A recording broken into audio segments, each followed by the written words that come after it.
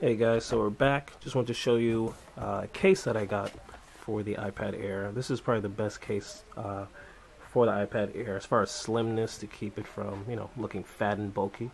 So it's the Active iPad Air Slim Case from Solo. Fits only the iPad Air. Once again, it's very, very thin. Does not have a keyboard but I don't need a keyboard. And it does let you, you know, sit it as such if you want to watch videos or anything like that. Let's bring that up. It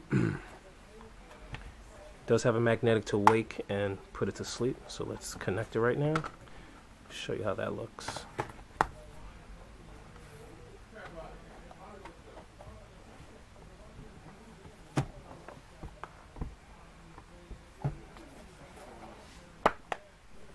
So with the iPad in once again, nice and sleek.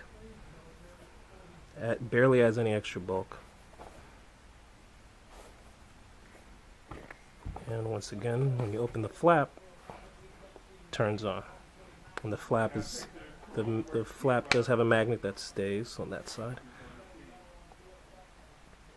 And puts it to sleep when you're done.